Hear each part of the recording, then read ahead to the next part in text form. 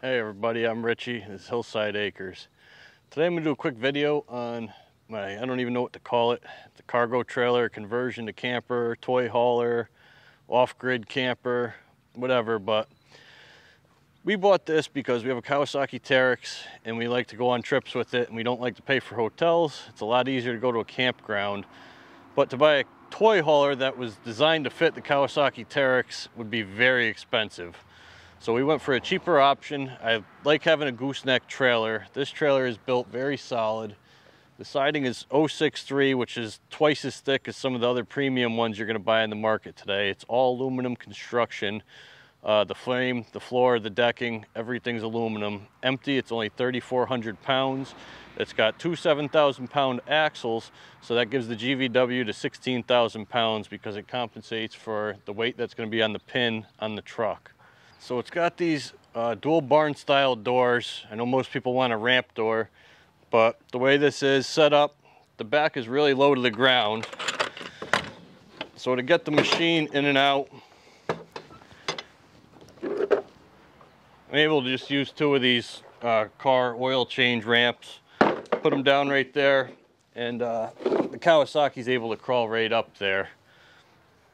Uh, excuse the mess in there too. It's a kind of been working on it over the last few days, so it's a little bit messy in here.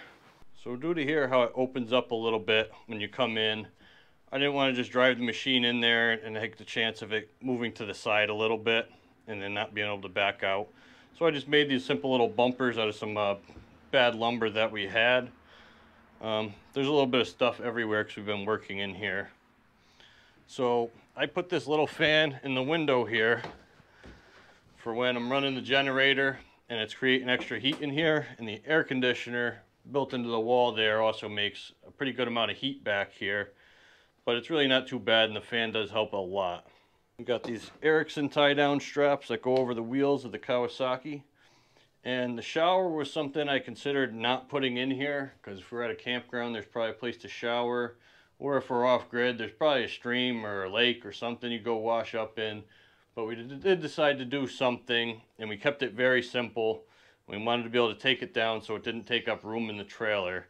So for the shower, we just got this portable little pool that's got a drain on it And to set it up, take this curtain. It's actually a two-piece curtain. I mean, I would set the pool up a little nice for where to be using it, but we could break it right down. And that you have a shower. Um, the water heater here is the Insa Hot 2. It's actually meant for washing horses. And this one has a lot more uh, flow than a normal uh, camping water heater that you'd buy. Uh, this is, I think, 2.6 gallons per minute.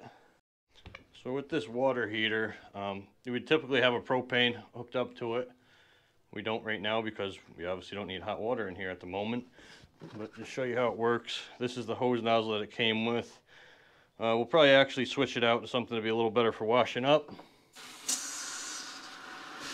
But gives us water back here when you got water supply.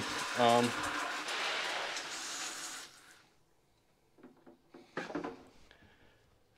I'd really like to uh, get like a pump that'll start pumping when you turn on the uh, supply for the water. So I could be able to draw the water out of like a 55 gallon drum or something from back here. Um, so if we don't have access to water, we could fill something up and just make it work from there. So back here, I have the Honda 2200 with the generator exhaust extension just going right down and out through the floor. The floor is aluminum, not too worried about that. I might put some heat wrap around here. Um, got the uh, Berg system, so it's got a six gallon tank powering the Honda, so it'll run for about 48 hours before needing filling. Uh, my plan is to just fill it up once daily and I won't have to worry about it and it will need an oil change every four days if it's running continuous. I might do it every three because of the abnormally high temperatures back here. Um, this back part will get a little over 100 degrees with the uh, air conditioner exhausting back here. So I'll do a startup of the generator before I go into the living space so you can see that you really don't hear it in there. So the way this works for the generator exhaust extension came with this uh, silicone hose right here. Just slides over and it's just a little hose clamp that goes on there. Um, this is heat rated for the exhaust temperatures. What I did, I just drilled a small hole in the aluminum floor over there to send the exhaust through so it could go outside. And that's about it. Just flip the switch to on. Shouldn't need any choke. Down. One pull, it fires right up. This generator really is nice. I got some D-rings down there so I could strap it down for when I'm driving. I'm gonna put some D-rings down for the extended tank as well. And the extended tank will be able to sit right underneath the Kawasaki and this fits with it in the back. So now I'm gonna enter the living space. Once I fired the generator up, the air conditioner automatically kicked on. Got a little LED light up there. Um, it's plenty for this little area. There's about 48 square feet of floor space. This little 5,000 watt air conditioner draws about, or 5,000 BTU air conditioner draws about 400 watts when running. So it's not much of a load on the Honda. The fridge only draws about 50 watts when running and that's on and off. It's about 400 watt startup for it. We have ran this little space heater just to test out in the Honda. So with 750 watts or 1500 watts, you could run it off the Honda. It just wouldn't be as efficient. We bought this little laundry sink, they call it, from Home Depot. It's actually really nice for an application like this because it's got a cabinet underneath it. And it's a pretty good size. If you wanted to wash some of your clothes in it, you could. Um, it's pretty nice it's fair priced. It was only about $180. I'm spraying everything over the counters. Um, we just did some cheap melamine shelves, nothing special.